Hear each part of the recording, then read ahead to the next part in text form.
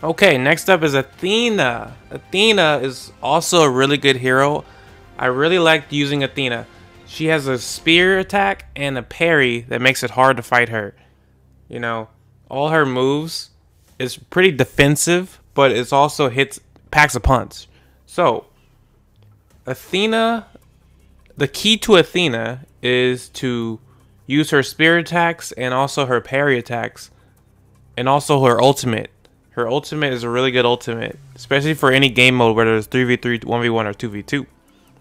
Alright, let's look at some of my some of my clips here, my gameplay of me using Athena and I'll go over what I think in my opinion about Athena is so far.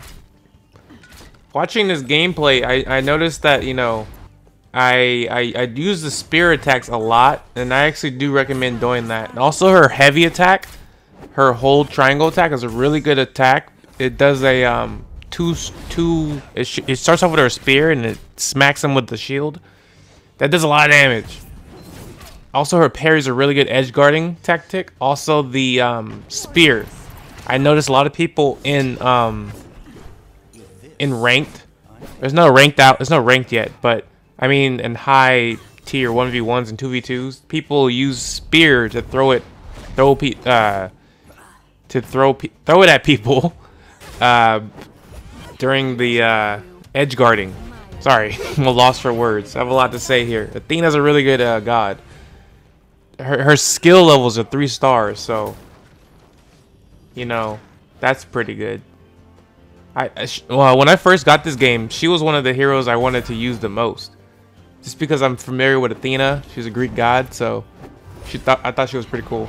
Her normal heavy attack has a lot of range, and it's it's a really good uh, attack if you want to if you want to uh, punish somebody doing any any move. If you can catch them off guard or there. If you can catch an enemy doing a skill, just throw your ultimate at them, knocks them off the arena, just like you see there. I like to start the match with the shield toss because it's a really good move. It's a range move. If I have a hero that doesn't have a range move, like like for example the last guy was Amaterasu, it's it's even though Amaterasu is really good, even now that I play her more, I, I start to like Amaterasu more.